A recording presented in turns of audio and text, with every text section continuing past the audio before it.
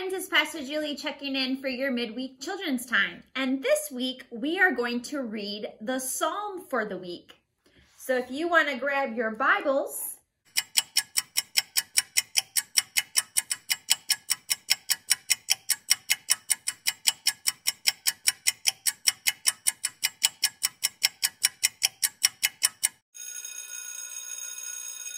we will read Psalm 138.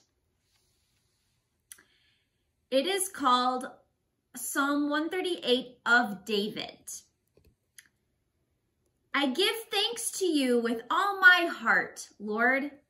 I sing your praise before all other gods. I bow toward your holy temple and thank your name for your loyal love and faithfulness because you have made your name and word greater than everything else.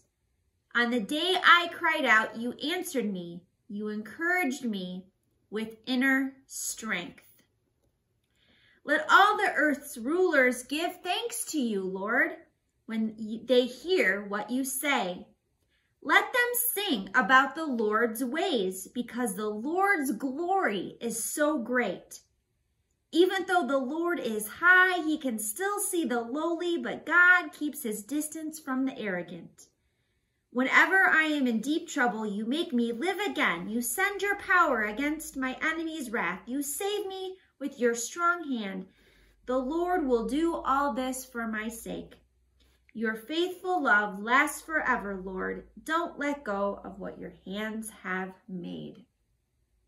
So today I want to talk about giving thanks. So this psalm is all about praising God and giving thanks for all that God does for the psalmist.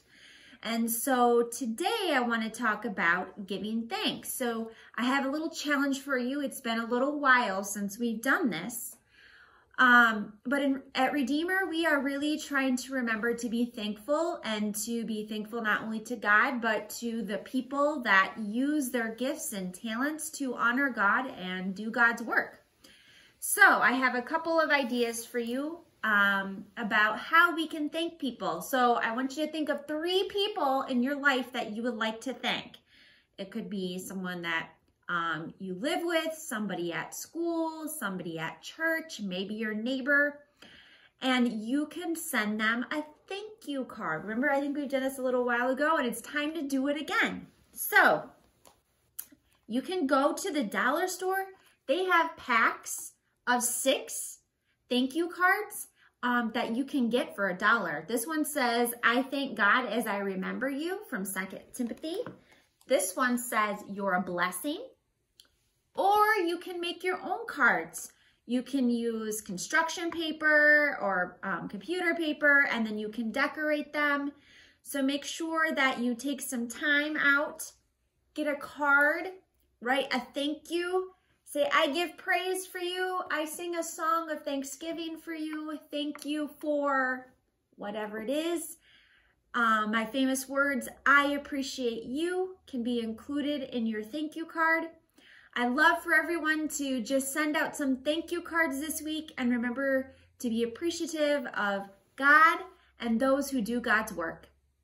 Thanks for checking in. Have a blessed week. See you on Sunday.